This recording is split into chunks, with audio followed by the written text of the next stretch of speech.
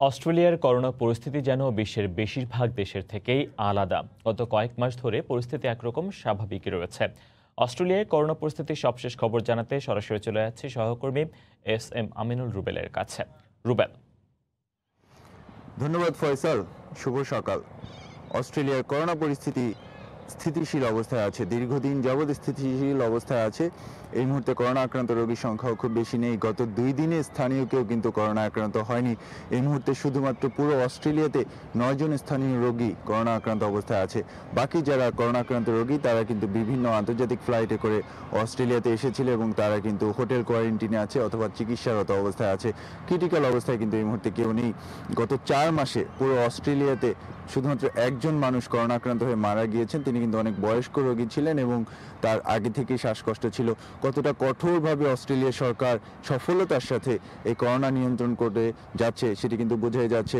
তবে কঠোর বারবার বলছি, কারণ অস্ট্রেলিয়ার আন্তর্জাতিক বর্ডার পৃথিবীর সব দেশের সাথে কিন্তু নিয়মিত যে বর্ডারটি সেটি কিন্তু বন্ধ আছে। অস্ট্রেলিয়া একটি দ্বীপ রাষ্ট্র, সবচেয়ে কাছের দেশ নিউজিল্যান্ড, বড় দেশগুলোর ভিতরে সবচেয়ে কাছের দেশ কিন্তু নিউজিল্যান্ড। সেটি যেতেও প্রায় চার ঘণ্টা অস্ট্রেলিয়া থেকে উড়ে যেতে হয়। তো অস্ট্রেলিয়া সরকার কিন্তু এই বর্ডার বন্ধ করে রাখলে এখানে থেকে বাইরে থেকে কারও আসার যেমন সুযোগ নেই, অস্ট্রেলিয়া থেকে কিন্তু বাইরে যাওয়ার সুযোগও নেই।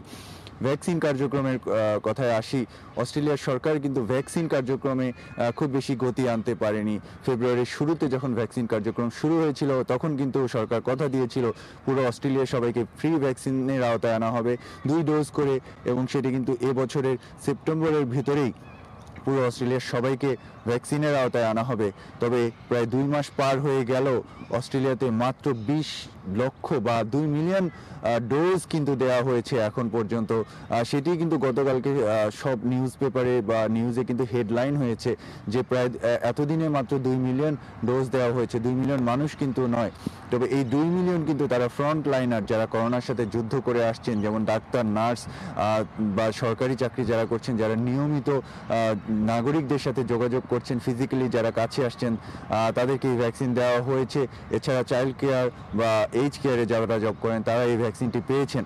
তো দুর্ভাগ্য বাংলাদেশিদের, কারণ বাংলাদেশিরা খুব বেশি দিন হয়নি অস্ট্রেলিয়াতে এসেছে। এ কারণে অস্ট্রেলিয়াতে প্রচুর বাংলাদেশি ডাক্তার বা নার্স থাকলেও অন্যান্য সরকারি পেশায় কিন্তু খুব বেশি বাংলাদেশি নেই।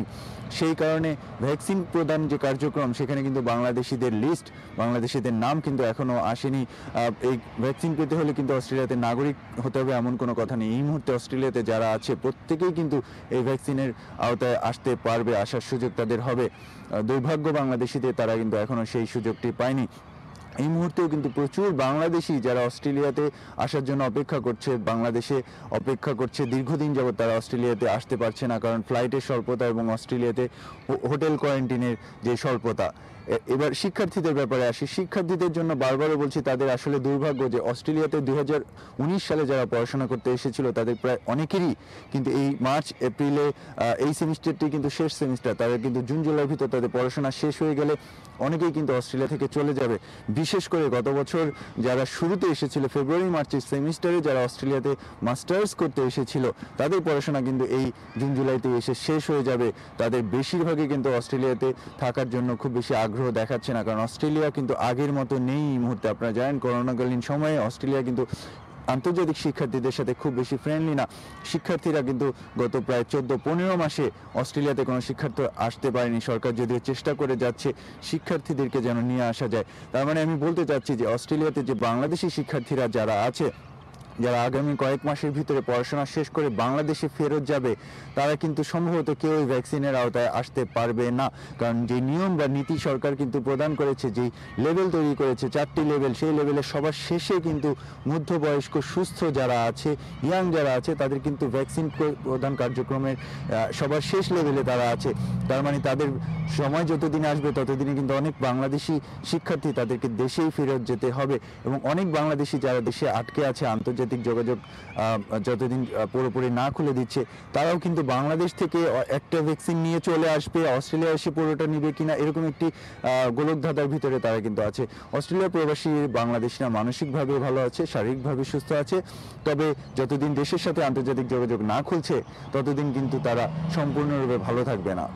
এই ছিল আমার কাছে সর্বশেষ, ফিরে যাচ্ছি স্টুডিওতে ফয়সালের কাছে। সহকর্মী এস এম আমিনুল রুবেল সরাসরি যুক্ত হয়ে জানাচ্ছিলেন অস্ট্রেলিয়ার করোনা পরিস্থিতির খবর।